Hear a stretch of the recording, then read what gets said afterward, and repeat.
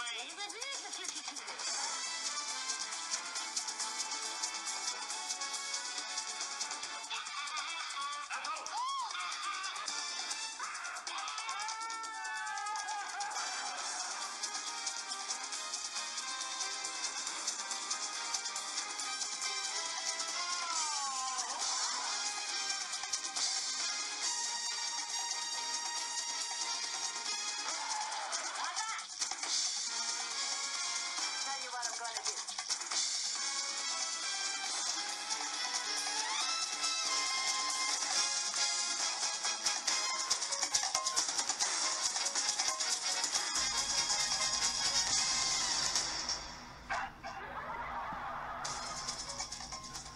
Hello, Lucy fans. Welcome to my YouTube channel. My name is KJ Ricardo. Today's episode is a production spotlight on the history of Desilu Studios. So let's get started.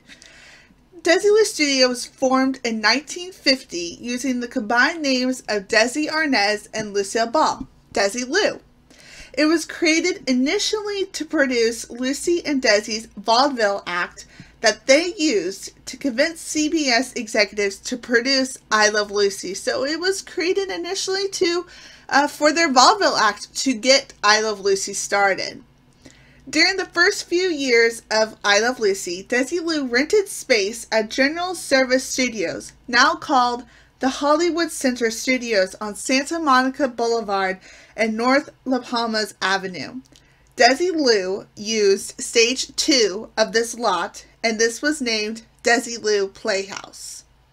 In 1954, Desilu outgrew its space at General Service Studios and decided to buy their own studio lot called the Motion Picture Center on Cahuenga Boulevard in Hollywood. And this would be the home of the Hollywood, the Europe, and the country episodes of I Love Lucy. In late 1957, towards the end of I Love Lucy, Desi Desilu bought RKO Pictures production facilities for $6 million, expanding its lot entirely. This purchase included a land called 40 acres, which was used for many exterior shots, including the exterior shots of Mayberry, which is the fictional setting of the Andy Griffith show. So you can see that right here. That's an aerial view of that lot. Desilu produced many famous TV shows during the 1950s and 60s, including I Love Lucy, Our Miss Brooks, Star Trek, Mission Impossible, Make Room for Daddy, The Real McCoys, The Andy Griffith Show, and The Dick Van Dyke Show, and so many more. The studio continued producing shows and movies under the leadership of both Lucy and Desi, but their divorce in 1960 changed things.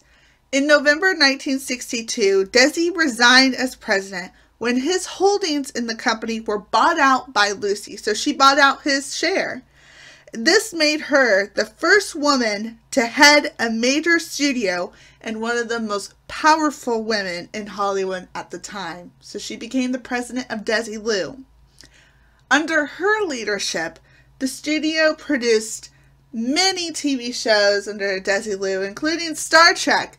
In fact, producers didn't want to produce the show at all, and Lucy said, let's take a chance with it. So we have Lucille Ball to thank for Star Trek today as well as Mission Impossible and so many other television shows. In 1967, Lucy decided to agree to sell Desilu to Gulf and Western, which had just acquired Paramount Pictures, and the company was renamed Paramount Television, and the company is now called CBS Television Studios. So that's a complete history of the evolution of Desilu Studios. Right now, I have a clip of Desi Arnaz showing an aerial view of the Desi Desilu lot. So it's very cool to see the aerial shots. So take a look. And you know, when, when we bought it, we not only got the buildings and the sound stages, we acquired millions of feet of stock film suitable for backgrounds in our television shows. Plus a huge property department and sets, costumes, well, all kind of assets that'll give our Westinghouse Desilu Playhouse great production values. Now, why don't we go over and take a look at Motion Picture Center? It's just a few blocks away. There it is. There's where we made the I Love Lucy shows, which were filmed in front of live audiences. You see, most of those sound stages are equipped with seats for just that purpose. And uh, we plan to do our Lucy specials over there, see? And if you or any of the other dealers want to see our show being filmed, we'll have to have you. Thanks, I'll take you up on that. Now, what do you say we swing over to Desilu Culver?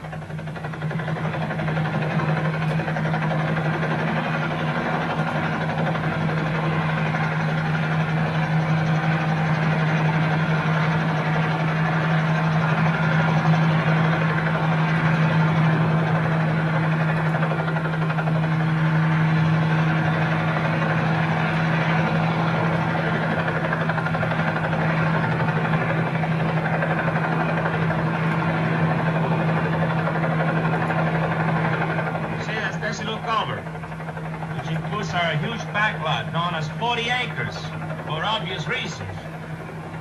You would call it 40 acres because it is 40 acres. All that stuff is for exteriors, you know, outdoor action stuff. Right now we're building a whole village down there, a whole western town. That looks enormous. Well, to give you an idea how big it is, that's where they make Gone with the Wind. You know, one thing is sure, you're not going to be cramped for space. No, sir, not with 35 sound stages and three studios. Uh, you know, we're really going to try to do a good job for you fellas. What do you say we go back to Desilu Gower and continue the tour?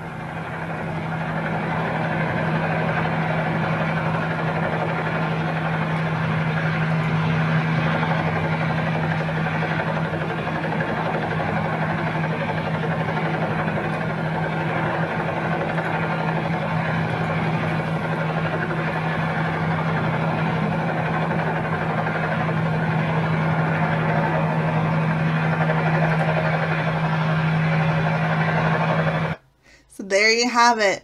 A complete history of the Desilu Studios from where it started and where it is today. I think it's really cool to see the aerial shots of the lot because we think of I Love Lucy and these other television shows of being in these um, these homes, the 623 East 68th Street apartment. We think that's where it exists, but to see it at an actual lot, a stage, um, a, a building, it's, it's really cool, but also it's a little bit sad to know that, you know, that it doesn't exist in an actual apartment. It was all on a stage. So I just wanted to give you this video of a history of Desilu to see where it all started, where our show started. So let me know what your favorite fact was in the video, and I'll be happy to read those comments. Thanks for watching, and I'll see you guys next time. And remember to always laugh often.